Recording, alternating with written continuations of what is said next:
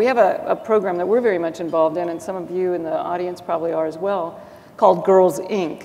And these are young girls that we bring into our facilities. We give them projects, we mentor them, we sponsor them, they show, we show them what the work is like.